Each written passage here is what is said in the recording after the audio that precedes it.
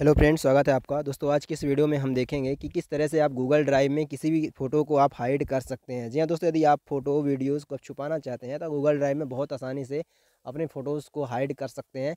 और ये photo hide करने का ऑप्शन आपको शायद ना मिल रहा हो तो आज की इस वीडियो को आप कंप्लीट देख लेते हैं तो आपको पता चल जाएगा कि एक्चुअल में क्या तरीका है जिसकी वजह से आप फ़ोटोज़ को हाइड कर सकते हैं।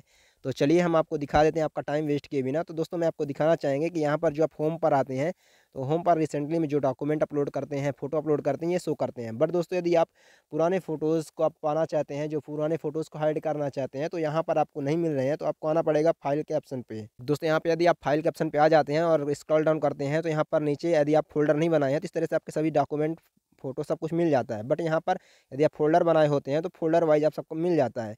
यदि आप चाहते हैं फोल्डर के भी ये फ़ोटोज़ को हाइड करना या फिर जो भी बाहर हैं फ़ोटोज़ उनको हाइड करना तो हाइड करने का सबसे मेन सिंपल तरीका है। यदि आप इसको फॉलो करते हैं तो आप किसी भी फ़ोटो को हाइड कर पाएँगे और कोई भी इसको पता नहीं लगा पाएगा इतना जल्दी। तो दोस्तों हाइड करने के लिए दोस्तों, आप सिंपल इस पर इस पर क्लिक करेंगे, जैसे आप देख सकते हैं। और कितनी फ़ोटो आप हाइड करना चाहते हैं एक बार में। यदि आप एक फ़ोटो हाइड करना चाहते हैं तो क्या प्रोसेस है? यदि सभी फ़ोटो हाइड करना चाहते हैं तो क्या प्रोसेस है? दोस्तों, यदि आप सभी फ़ोटो को हाइड करना चाहते हैं तो उसके लिए आपको इनको सबको सेलेक्ट करना पड़ेगा। जितनी फ़ोटोज़ को आप हाइड करना चाहते हैं, जैसे कि आप डॉक्यूमेंट कुछ भी यदि आप हाइड करना चाहते हैं तो इसको सेलेक्ट करना पड़ेगा। मैं एक को हाइड करके दिखा देता हूँ। उसी तरह से आप सिंपली सब कुछ कर सकते हैं, ठीक है? तो दोस्तों, इसको हाइड करने के लिए मैंने यहाँ पर क्लिक कर लिया है इस फ़ोटो को।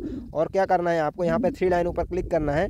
और यहाँ पर आप देख सकते हैं मूव का ऑप्शन नीचे है, ठीक है? तो मूव के ऑप्शन में आपको आ जाना है और यहाँ पर मूव कर लेना है। और यहाँ पर क्या करना है, यहाँ पे कई फोल्डर दिख रहे हैं। यदि आप फोल्डर में मूव करना चाहते हैं तो क्या होगा किसे तो देख लेगा कोई भी बट आपको फ़ोटो हाइड करना है। तो क्या करेंगे आप, यहाँ पर क्रिएट पर क्लिक करेंगे और यहाँ पर इसको कैंसिल करेंगे। आप यहाँ पर लिखेंगे ए ठीक है?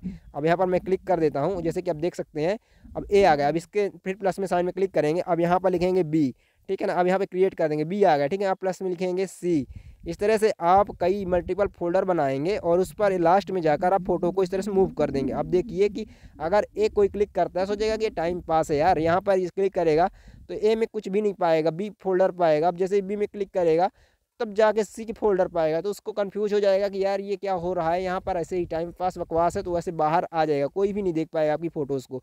बट दोस्तों, यदि आपको पता रहेगा तो आप सीधे सिंपली जाकर यहाँ पर बी में क्लिक करोगे सी में क्लिक करोगे तो आपकी फ़ोटो यहाँ पर मिल जाएगी, जो भी चीज़ें हैं यहाँ पर अब इसको अनहाइड करना चाहते हो तो सिंपली दोस्तों आपको यहाँ पर आना होगा, और इसको यहाँ से हटाने के लिए आपको रिमूव करना होगा। ऐसे ही आपको करना क्या पड़ेगा, यहाँ पर आपको रिमूव करना पड़ेगा मूव टू बिन करना पड़ेगा। जैसे आप ये बिन में चला जाएगा तो अब यहाँ पर बैक हो जाएँगे बैक हो जाएँगे।